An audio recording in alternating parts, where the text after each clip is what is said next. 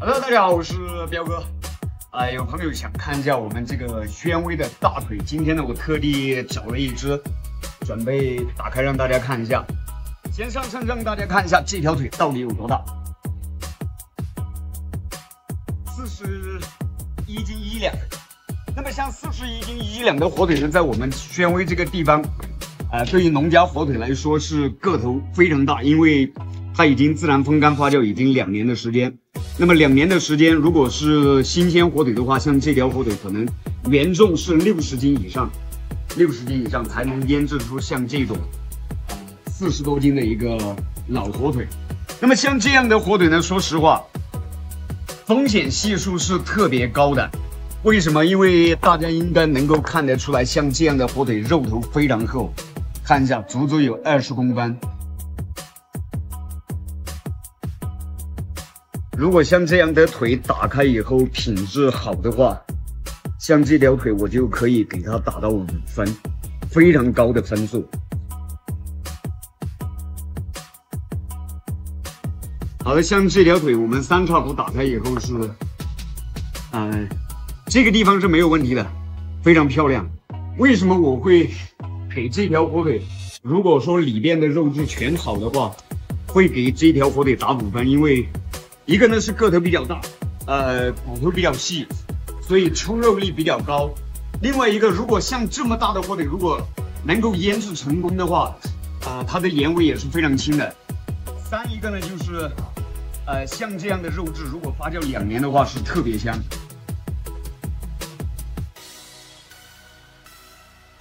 下方部位非常好，但是我们现在最担心的是什么地方？就是这个上方部位，像这个上方部位这么大的火腿是非常容易里边发青，也就是盐分没有充分的渗透进去。非常遗憾的告诉大家，翻车了。所以这么大的火腿真的是，呃，不。火腿并不是越大越好，大家看到没有？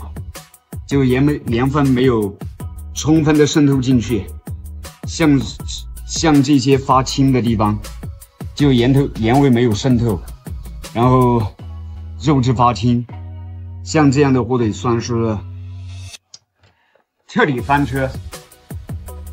本来像这样的火腿的话，打开以后两年的火腿，这个。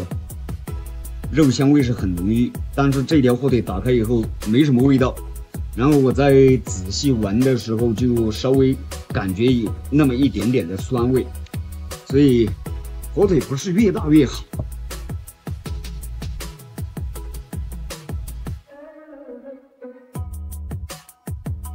你看，这个发青已经发到这个皇冠的部位，你看皇冠这里也是也是发青的。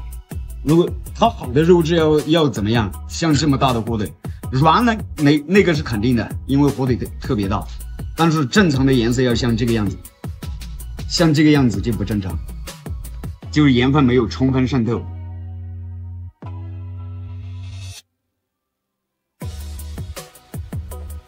好了，我们这个今天的视频也就跟大家分享到这个地方。呃，最后呢，就跟大家说一下，就是。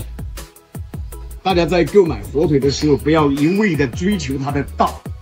呃，其实农家火腿的话，你只要是熟食喂养，只要是熟食喂养，呃，腌制好以后呢，火腿不在大小，那么吃口呢，呃，都是非常好。只是说火腿个头要大一点的话，确实它的这个出肉率会更高一些。但是要说香的话，呃，火腿大小都是一样啊，没没没有。人家说的那么咸玄乎是吧？火腿的越越大越香，没有跟你说嘛。那么这期视频就跟大家分享到这个地方，有什么不懂或需要问的，在评论区下方留言，关注彪哥，我们下期视频再见。